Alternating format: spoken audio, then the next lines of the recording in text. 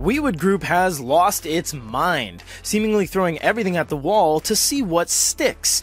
After DES slurry technology, five crowdfunding campaigns, only to go back to E Ink in the end with their recent device and sell on Amazon, they seemingly ran out of ideas.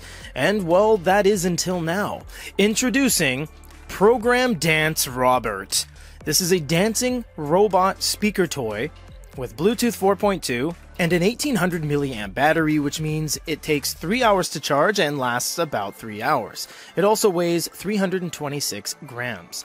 Why on earth would a company so deeply involved with ePaper slash e-ink even consider making a dancing robot? We have no idea, but let's do an all-in-one unboxing and review and find out together. Don't get us wrong, we are all for companies trying new things. It's just a little bit strange that Topjoy would even entertain making a robot. I mean, they've had a couple crowdfunding campaigns that didn't quite go to fruition in terms of fulfilling everything, and it just seems like a little bit of an insult to injury to make a robot that dances all over the place as if to say, well, we'll let you fill in the gaps. Now they have two different colors one that's wearing a nice little orange high vis vest, and then this one, which is the gray one. So let's crack it open. It already is open, and actually, they have an app too on both Android and iOS, and you need the app to use it because that's how you program it. And you don't even need to have this play music or dance, you can make it move around with your own controls. There it is right there hand action, leg action, and combined action.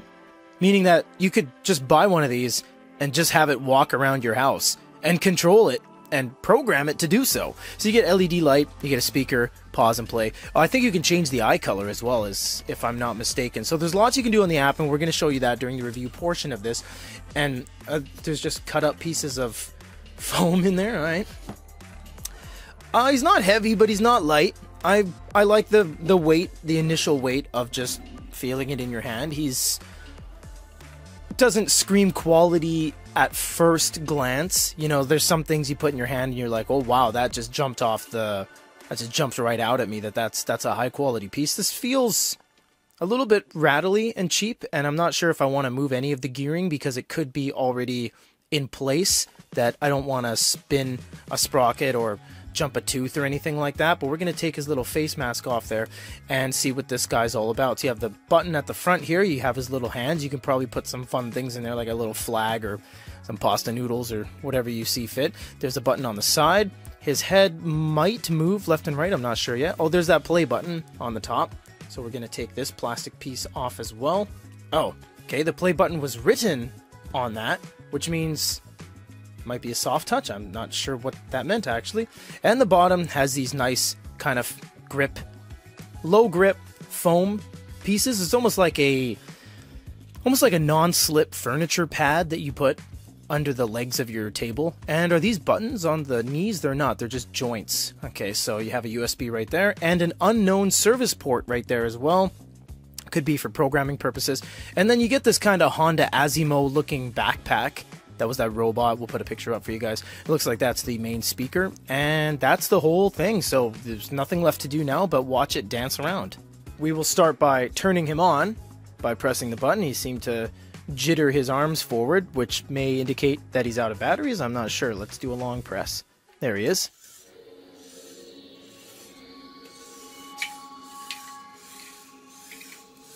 I wonder if I'm supposed to hold him.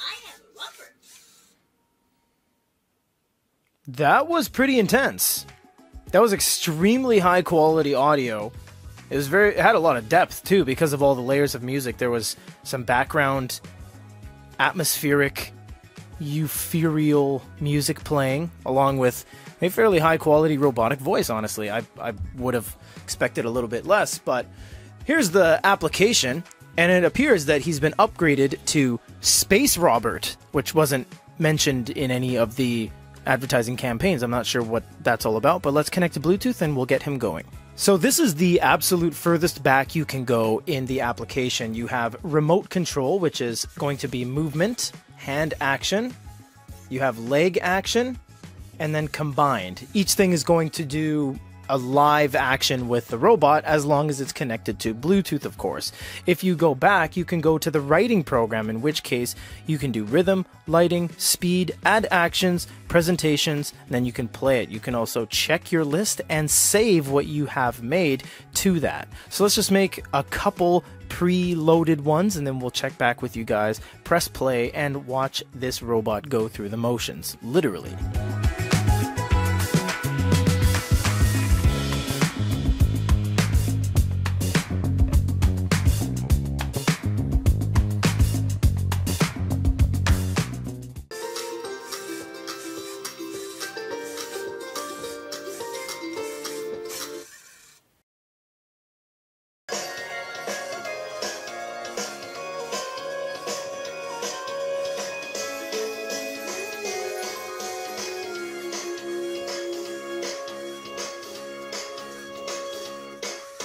Presentation mode was interesting. You're able to program various different actions, and it looked like he was having a lot of fun. So I can't say I would have this on a ledge just dancing the whole time I was hosting a party, but it is interesting all the same.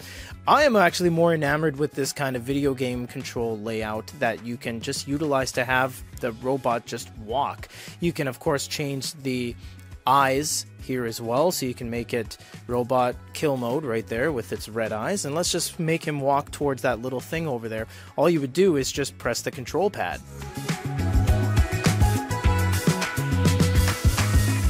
Honestly it traverses a lot further than I would have thought and the turning is pretty decent.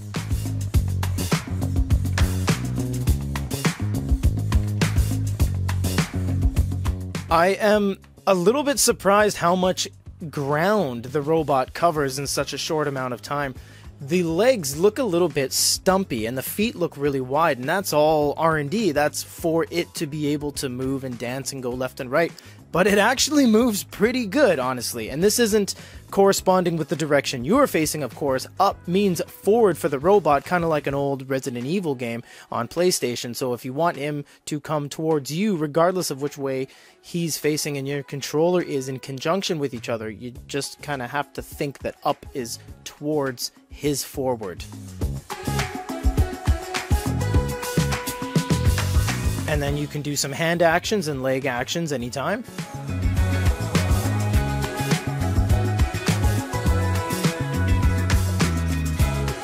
My personal wrap up of Space Robert, as the app says, is honestly has nothing to do with e readers or e ink, of course, but I mean, you could program this via a Onyx Boox that has Bluetooth and an app, but either way, it's not built all that well, but man does it sound good and man does it move. I'll tell you that. The app is easy to understand. This is a very, very simple robot in terms of its function. You just press the button to get going, and the app only has two things program mode and just normal control mode. So in that regard, it's actually quite nice. It's just the materials don't seem that good, but the robotic movement and how it's able to move in so many various directions is quite impressive for the quality. It's very, it's kind of juxtaposes itself because you you should think it would be made out of maybe nice aluminum builds or something a little bit more space age and higher tech, but it isn't. It's just cheap kind of hollow plastics. But when it comes down to the motor mechanisms itself,